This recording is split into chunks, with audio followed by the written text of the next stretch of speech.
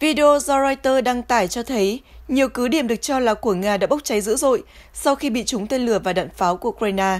Reuters cho biết hình ảnh con đường và các cánh rừng trùng khớp với hình ảnh vệ tinh trong khu vực. Trước đó, Thứ trưởng Quốc phòng Ukraine Hanna Milia cho biết các lực lượng của nước này đã giành quyền kiểm soát ngôi làng Staromayoske tại Donetsk, bất chấp các cuộc không kích và pháo kích dữ dội của Nga. Nói về cuộc giao tranh ở Donetsk, các binh sĩ Ukraine cho biết đây là cuộc chiến vô cùng khó khăn. Họ phải bất chấp rủi ro để xông vào các vị trí của đối phương. Bà Malia cho biết thêm, lực lượng vũ trang nước này đã giành lại quyền kiểm soát 2 km vuông lãnh thổ trong khu vực Bắc Mốt trong tuần qua. Kết quả này nâng tổng diện tích lãnh thổ mà Ukraine giành lại ở miền đông nước này kể từ khi chiến dịch phản công bắt đầu lên đến 37 km vuông. Bà Malia xác nhận, quân đội Ukraine đang tiến hành các cuộc tấn công thành công ở các khu vực phía nam thành phố Bắc Mốt.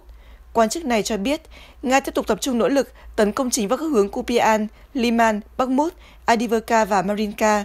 Đồng thời, chiến sự khốc liệt vẫn tiếp diễn với hơn 170 cuộc giao tranh ở những khu vực này.